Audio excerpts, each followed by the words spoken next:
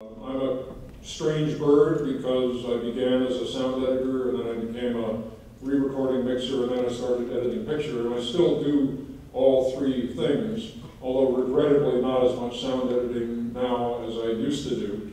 Um, but I really see them, sound and picture, as you know, different aspects of the same thing, the flip sides of the same coin. The person, the character, and you're not aware of the all the artifice that it took to get you there. And I, I think this, this quote really uh, begins to talk about uh, some of those things. Invented, uh, let's say, in 1889, and editing, the, the idea that you could cut from one shot to another didn't really occur to people until about 14 years later.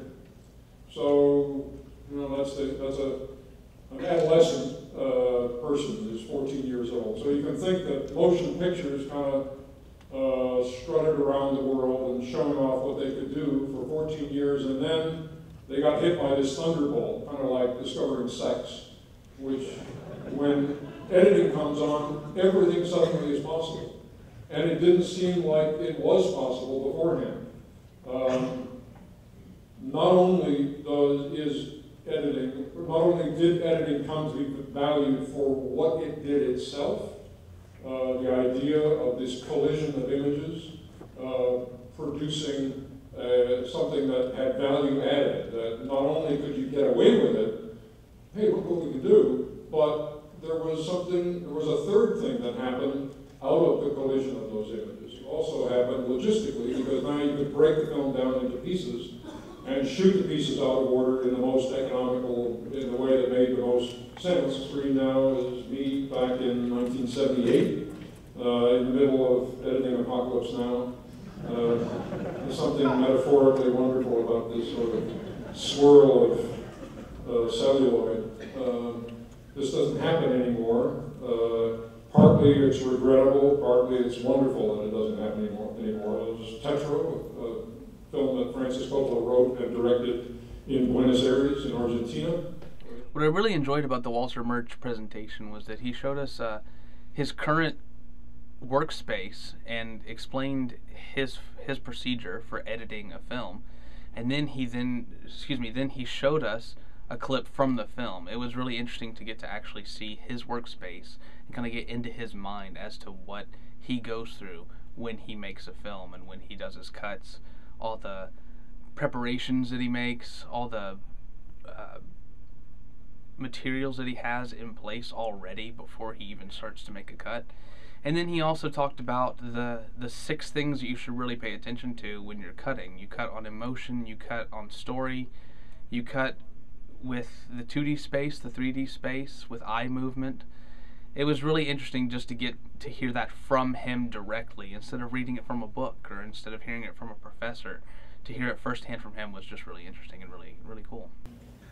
There, there, one aspect of what we do is simply what I'll call the plumbing, which is how do you get this material from here through these pipes to connect up in this way and then out the door, out the drain into the English use of the word editing uh, what we think of when we think of editing, which is here's the book or whatever it is uh, that the author has just handed in, and now we're going to take out our blue pencil and say, well, this is good, uh, are very similar to the process that a writer goes through. Um, once the um, once everything is once excuse me, once things have been laid down, now we now and we know we know the B to which we have gotten Now let's see if we can improve that line and make it clearer, more emotional, sharper, not as long.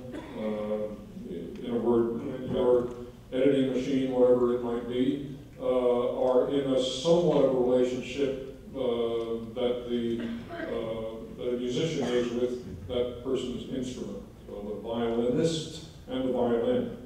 And how what your bowing technique is like, uh, how you how you choose to interpret that particular series of notes.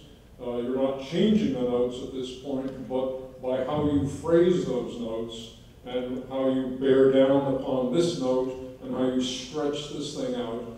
Uh, are elements of performance, and there are equivalents of those in uh, editing. So fitted them with Zeiss lenses. It, Francis believes, I think uh, entirely correctly, that um, a lot of the quality of the image uh, is dependent on the quality of the glass that you got out there. Shooting 35 millimeters, it was about 900,000 feet uh, of material. And we were working on, with Final Cut Pro 6 or 3, uh, using After Effects for uh, visual effects. We had five stations uh, with various uh, levels of, of quality. I had one station, uh, my main assistant had two stations. In the end, we decided that we'd use ProRes uh, 720 because of this question of, we want it to look as good as possible, but we also don't want to get hit by, uh, you know, long time doing rendering.